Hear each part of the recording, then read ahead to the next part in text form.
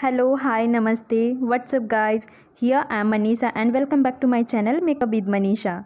Then today I create this teenagers makeup look. I hope you like it, all teenagers girls. मैंने makeup look को simple रखा है और lipstick थोड़ी सी bold लगाई है। आप चाहे तो यहाँ पे न्यूड लिपस्टिक यूज़ कर सकते हैं। तो चलिए देखते हैं इस लुक को मैंने कैसे क्रिएट किया है। अगर अच्छा लगे तो प्लीज़ मेरे चैनल को सब्सक्राइब और वीडियो को लाइक करिएगा।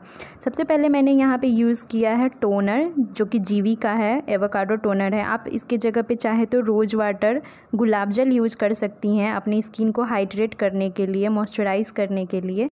मुझे इसकी खुशबू काफ़ी अच्छी लगती है। जब मैं ये यूज़ करती हूँ तो मेरे चेहरे पे यू नो एक फ्रेश सा ग्लो आ जाता है। इसको लगाने के बाद आपको ऐसे ही फ्रेशनेस फील होगा।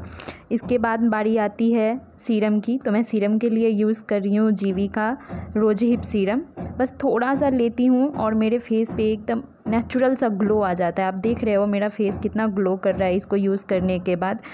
मुझे काफ़ी अच्छा लगता है ये लगाना। उसके बाद मैं यूज़ कर रही हूँ हिलेरी रोडा का प्राइमर है। मैं इसको काफ़ी साल से यूज़ कर रही हूँ, लगभग दो तीन साल से यूज़ कर रही हूँ और ये मुझे बहुत अच्छा लगता है। प्राइमर लगाने से फ़ायदा ये है कि आपका स्किन स्मूथ हो जाता है, जिसके बाद आपका फाउंडेशन काफ़ी अच्छे से फ्लोलेस ब्लेंड हो जाता है। तो मुझे प्राइमर लगाना अच्छा लगता है। मैं प्राइमर नहीं लगाती हूँ तो मेरे फेस पे फाउंडेशन अच्छे से वर्क नहीं करता। इसके बाद मैं यूज़ कर रही हूँ कंसीलर है, ये एन का है। आप चाहे तो कोई भी ब्रांड का कंसीलर ले सकते हैं। मैंने यहाँ पे इसे इस तरीके से अपने फेस पे अप्लाई कर लिया है। उसके बाद मैं इसको एक ब्यूटी ब्लेंडर की हेल्प से इसको अच्छे से ब्लेंड कर दूँगी। जहाँ जहाँ मुझे हाइलाइटिंग एरिया है या फिर डार्क सर्कल्स कुछ दाग धब्बे होते हैं, वहाँ मैं कंसीलर अप्लाई कर लेती हूँ। थोड़े बहुत मेरे फेस पे पिंपल्स वगैरह जैसे दाने निकल आए थे, इसलिए मैंने आज पहले कंसीलर अप्लाई कर लिया है। कंसीलर का यूज़ हम इसलिए ही करते हैं ताकि हमारे फेस पे जितने भी डार्क सर्कल्स हो, पिंपल्स हो, दाग धब्बे हो, वो सब हाइड हो जाए। उसके बाद मैं यूज़ कर रही हूँ यहाँ पे मेबेलिन का फिटमी फाउंडेशन। इसमें मेरा सेड है वन, टू, फाइव। आप अपने स्किन टोन के अनुसार आप अपना शेड चूज़ कर सकते हैं। इसको मैं डॉट डॉट करके अपने फेस पे अप्लाई करती हूँ। उसके बाद एक स्पंज ब्यूटी ब्लेंडर की हेल्प से इसको अच्छे से ब्लेंड आउट कर लेती हूँ। मैं अपने बेस में हमेशा टाइम देती हूँ। हर वीडियो में मैं बताती हूँ कि बेस को टाइम दीजिए। जब तक आपका बेस कम्प्लीटली ब्लेंड आउट और परफेक्ट नहीं होगा, तब तक आपका मेकअप लॉन्ग लास्ट नहीं करेगा। अब मैं यहाँ पे यूज़ कर रही हूँ फिटमी का कॉम्पैक्ट पाउडर जो भी कंसीलर फाउंडेशन मैंने अपने फेस पे अप्लाई किया था, उस सबको सेट कर रही हूँ। अगर आप सेट नहीं करोगे तो आपको अगर पसीना आएगा तो आपका बेस निकल जाएगा, इसलिए इसको सेट करना ज़्यादा ज़रूरी है।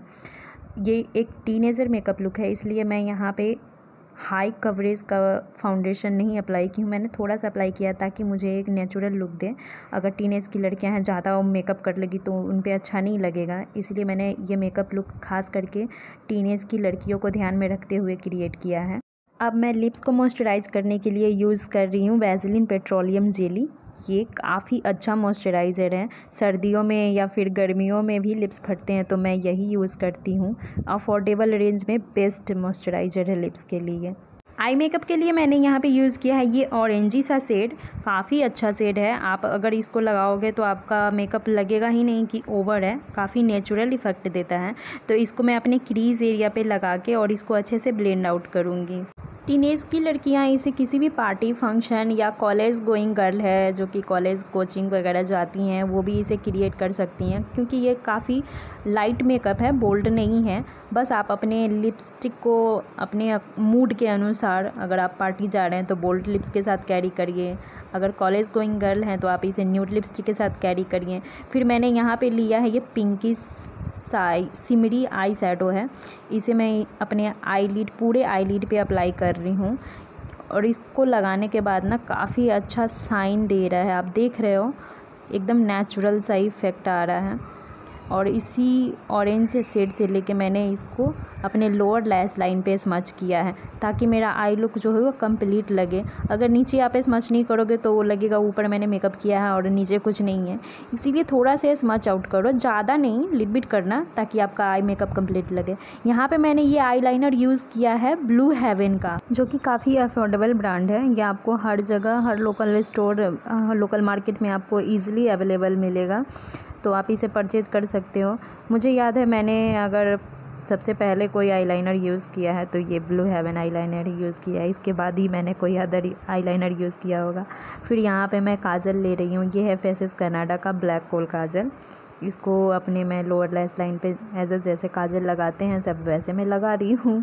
तो फिर मैं यहाँ पर यूज़ कर रही हूँ मस्करा ये है फेसेस कनाडा का ग्लैम मस्करा यहाँ पे आज मैं कोई आई लेसेस नहीं लगा रही। क्योंकि ये मेकअप लुक मैंने क्रिएट किया है, खास करके टीनेजर सिस्टर्स के लिए, इसलिए मैं इस लुक को बोल्ड नहीं कर रही हूँ। तो आप लोग क्या कर रहे हैं? वीडियो अच्छी लग रही है इंटरेस्टिंग लग रही है तो लाइक बटन प्रेस करिए और चैनल को सब्सक्राइब भी कर दीजिए। सब्सक्राइब करने के कोई पैसे नहीं लगते डियर आप इसे फ्री में सब्सक्राइब कर सकते हैं। बेल आइकन को हिट करिए और ऑल पे सिलेक्ट करिए, ताकि जब भी मैं अपना वीडियो अपलोड करूँ, सबसे पहले नोटिफिकेशन आपके पास पहुँच सके। अब मैं अपने फेस के कंट्यूरिंग के लिए सेम वही आई सैडो पैलेट पिक कर रही हूँ। मैंने एक आई सैडो पैलेट से अपना पूरा मेकअप कंप्लीट किया है। तो आपको भी अगर आप बिगनर हैं या फिर टीनेजर है तो दस रंग के, दस ब्रांड के, दस मेकअप पैलेट लेने की ज़रूरत नहीं है। आप एक ऐसा मेकअप पैलेट लो, जिसमें आई शेडो पैलेट लो, जिसमें आपको सारे कलर्स मिल जाएँ और आप आराम से एक पैलेट से आप अपना पूरा मेकअप कंप्लीट कर लो।